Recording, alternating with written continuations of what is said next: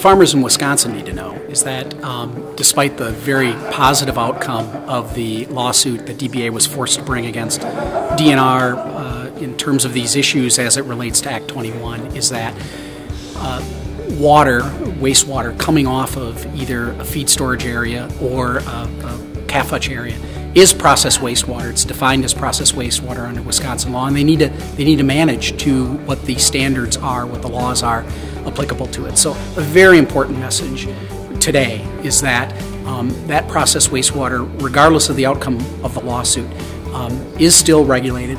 It still matters, and it's a site-specific consideration. So you have to look at your operation. You have to look at where's water coming onto your operation, where it's leaving. Try to keep clean water clean manage, collect uh, dirty water, but that there are a lot of tools available to do that. It's not just a one size fits all approach.